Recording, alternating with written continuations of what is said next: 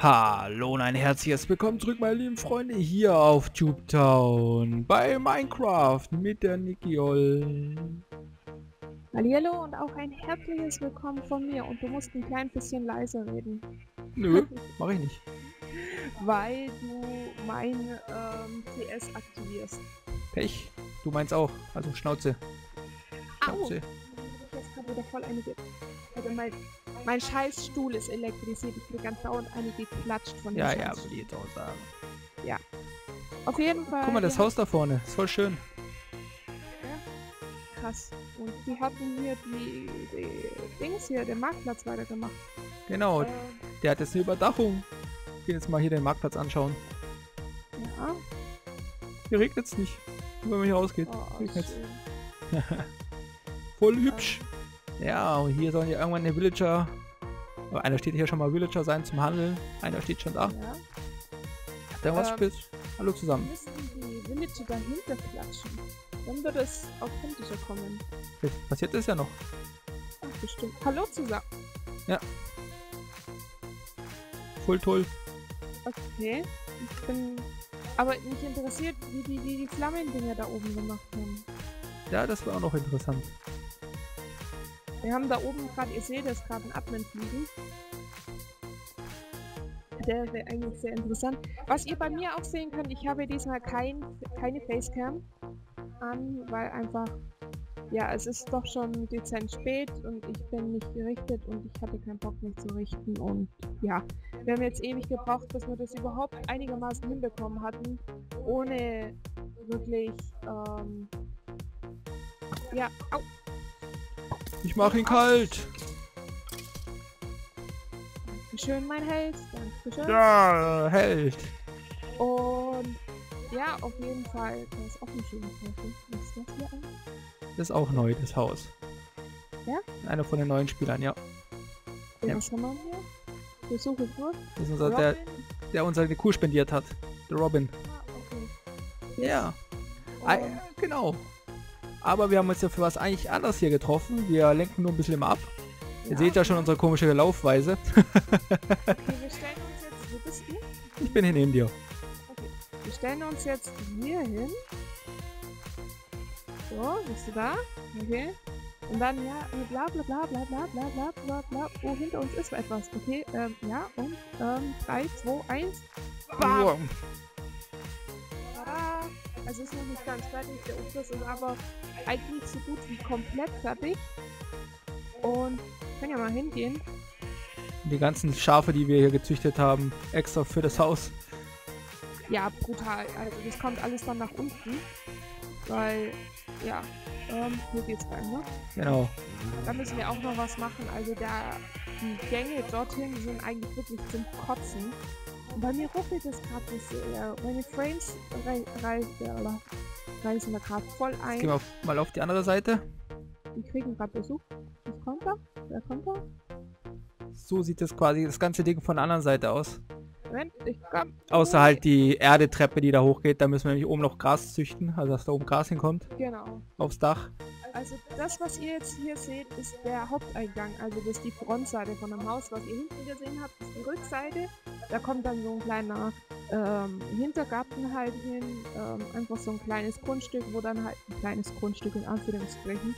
Wo dann halt ein kleiner, äh, so ein Teich ist, so, so, ein, so ein, wie nennt man das? So ein, ähm, Teich. Bach, Fluss, Ge Meer, See. Was willst du machen? Das beruhigende Dings, wo da gibt so ein Pavillon. Tai, tai Chi, Tai Chi Dings. Wie heißt denn das, der Scheißdreck? So ein. Nicht Chakra. Strebergarten. Ja, wie auch immer. Und quasi hier, was ihr seht, links ist mit Sandstone äh, eine Garage quasi, soll es darstellen. Und rechts dann das ganze Komplex. Vorne kommen Ja, dann noch die Wege dazu. Ich lauf hier mal da dran vorbei, dass ihr das mal seht. Also es ist noch nicht ganz fertig. Wie gesagt, hier kommt noch ein bisschen Blattzeug hin. Da musst du auch aufpassen, du hast nämlich da unterschiedliches reingeklatscht. Ja und? Das ist jetzt nur die Vordeko. Ja. Vor Der Feinschliff kommt ja noch. Also ihr seht dann hier so überdacht. Also es war auch wirklich, wir haben so viel Wolle gebraucht. Das war ja wirklich der Wahnsinn. Gehen wir mal ein Stockwerk hoch. Ich gehe jetzt, äh, zeige hier bloß ganz kurz. Hier ist eigentlich die Garage. Also ähm, der teilweise, Alter, wo geht das?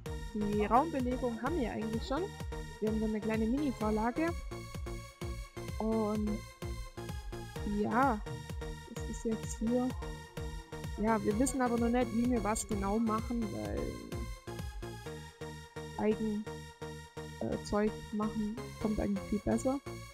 Voll in, mit ganz viel Terrassen, mit geiler Aussicht, wenn man meinen Scheller anguckt. Also. ich drehe dreh mich mal ganz kurz um, Moment. Ja, doch. Aber bei mir schaut es ohne gar, gar nicht so schlecht aus. Also man könnte hier noch ein paar so Bäumchen bzw. Blümchen pflanzen und so. Also man könnte hier schon noch einiges draus machen. Vor allem hier, die Terrasse ist auch nicht schlecht. Direkt auf den See hier. Ja. Wo bist du? Hier drüben. Achso, gegenüber. Okay. Genau. Auch schön. Mhm. Das auf jeden Fall ist echt Und toll. hinten raus noch nochmal eine Terrasse. Ja. Ja. Oh, schön. Wir können noch einmal aufs Dach gehen, dann sieht man quasi alles noch. Uh, und runter. Hm, Ja, ich mach's mir einfacher, glaube ich. Du brauchst dich wieder hoch. Dass wieder alles abbauen muss. Nein, ich habe doch hier eine Leiter. Ah, stimmt. Egal. Also ich habe mir da extra eine Leiter gebaut, damit ich hier hoch kann. Hier auch noch alles mit Glas versehen. So. Ach, da hinten ist auch so ein... Soll das auch so ein modernes Haus-Dings sein? Das Da ist Zylot vorne. Ah, okay. Das habe ich noch gar nicht gesehen. Das steht schon ewig da. Okay. Zylots Villa. Und so hoch ist unser Ah. Gebäude. Man sieht jetzt auch den äh, Marktplatz von oben. Ich glaube, wir, wie wir jetzt erst einmal erschrocken sind, denn innerhalb von einer knappen Stunde stand das komplette Dach. Ja, doch eine knappe Stunde dürfte es gewesen sein und dann war plötzlich das ganze Dach gemacht. Das war auch recht, ähm, ja. Also von hier seht ihr jetzt mal das Dach im Hof. Oh ja, und hier unten die Garage noch. Also hier seht ihr gerade das auch hier unten, ähm, wo wir da das Gras eben noch züchten müssen. Denn man weiß ja, dass äh, wenn man Erde pflanzt ähm, oder Erde hinsetzt, dann dass von alleine kein Gras kommt, sondern es muss erst von einem normalen Grasblock hochgewachsen, äh, hochwachsen. Und das dauert halt einen Moment. Ja. Wir müssen jetzt nur noch quasi hier unten die Wege setzen, dass die wieder übereinstimmen. Dann gibt es Genau. noch eine Hecke, die alles, alles abtrennt. Das sind auch noch drumherum. Ja. Wo du? Unten bin ich wieder ganz unten. Quasi ungefähr wird hier, ungefähr hier, hier, hier so, wo der Weg, Kiesweg hier anfängt, hier, der ist ungefähr dann die Hecke. Bin hinten, aber äh, vor der Eingang. Also vorne, wo die Hauptsicht ist normalerweise. Ah. Mhm. Kommt normalerweise hier noch eine Hecke hin. Irgendwo. Vor allem das Schöne ist ja, wir haben ja quasi echt ein hochliegendes Haus. Eigentlich wäre es ja ebenerdig gewesen, aber dann haben wir quasi hier unten noch so einen Durchgang, wo man unter unserem Haus durchlaufen kann. Und da können wir dann auch was basteln. Mal schauen. Ja, Welch- da könnte man dann notfalls unsere Tiere unten drunter ähm, äh, ver verstecken, ohne dass wir sie jetzt wirklich bis komplett nach unten ähm, stecken müssen. Ich habe da schon so eine Idee, was wir da machen könnten, aber da verraten wir jetzt mal nichts. Eben, wir haben noch so viel Platz und hier haben wir ja auch noch eine kleine Fläche. Hier, Ja. Die kleine hier, wo wir gerade draufstehen. Hätten wir auch noch zur Verfügung, weil hier wird sich eh keiner groß niederlassen, weil hier eh nie, zu wenig Platz ist sonst. Ja. Von daher haben wir eigentlich noch ein bisschen Platz und haben ja auch noch zig Wolle, wo wir auch noch Ja. auskleiden Genau. können. Also, Also, das ich wolle, das was ich jetzt, was ihr jetzt hier seht bei mir im Inventar, das sind jetzt hier da vier, fünf, sechs knapp. ich habe auch noch ähm, dreieinhalb. Und in der Kiste ist auch noch, glaube drei Stück drinnen. Aber das ist im Gegensatz zu dem, was wir jetzt hier... das was wir hier verbraucht haben, wirklich nichts. Wirklich nichts. Was glaubst du, wie viele Stacks haben wir hier gebraucht? Schon einige, da kann 40? Ja. So. Sogar mehr. Allein der Sand Sandstone, es sieht nicht nach viel aus, aber den zusammen zu craften und wenn man den nur als Sand Oh, gefarmt hat, das dauert ewig. Aber wir hatten ja auch nette Hilfen, die uns ein bisschen was geschenkt haben. So ist ja nicht. Mhm. Ja. Das ist quasi der Grundriss. Die Inneneinrichtung kommt jetzt noch nach und nach. Bauen wir das quasi noch auf. Und die werden wir euch natürlich auch zeigen. Also wir haben jetzt auch vor, also ich zumindest, die Inneneinrichtung schon mal anzufangen. Beziehungsweise würde ich vielleicht sogar sagen, wir fangen an, ähm, jetzt uns mal zu überlegen, wo wir die Tiere hinsetzen und dann hier erst... Uah! Jetzt habt ihr alle Schafe getötet. Nein, boah, bin ich jetzt erschrocken, also. Du kennst mich, wenn ich erschrecke. Ich habe gerade meine Maus weggeworfen. Die ist vom Stuhl gefallen, das wollte ich nur sagen. ähm, ja, was ich sagen wollte, die Tiere wo hinsetzen, damit man hier... Du bist so ein Arschloch. das musste jetzt sein. Du hast mir die Vorlage gegeben. das Gras nach vorne setzen, dass wir hier unser Grasgrundstück eben haben. Ja. Und das endlich kaputt machen. Was mir gerade noch eingefallen ist, das, ich weiß nicht, ob man in der letzten Folge, ob man das sehen konnte, wir hatten Pferde. Wir hatten wir extra ein Pferd zum, zum ähm, ja, äh, Züchten bekommen. Jetzt haben wir das gezüchtete Scha äh, Schaf, sag ich schon, Pferd ist noch da. Das Problem ist, dass wir aber unseren äh, Hauptpferde mit kompletter Rüstung, mit Sattel äh, verloren haben. Aus dem ganz einfachen Grund, da die, äh, da wir ja den Platz hier haben umbauen müssen, wurde einfach der, das Gehege weggemacht. Aber keiner hat die Pferde mehr eingesperrt, die sind ja hier geblieben. Und als wir uns dann heute Morgen eingeloggt haben, waren dann die Pferde weg. Also solltet ihr irgendwo auf dem Server Pferde sehen, sagt uns bitte Bescheid.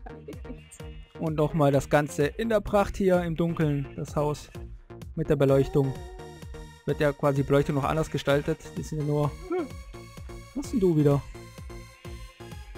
Jetzt wollte ich die schon wieder abschießen. das macht er die ganze Zeit schon. Das letzte Mal hatte ich keine Rüstung an und er gibt mir voll den Headshot von was ist ich wo und ich hatte wirklich bloß noch ein halbes Herz mit einem Pfeil.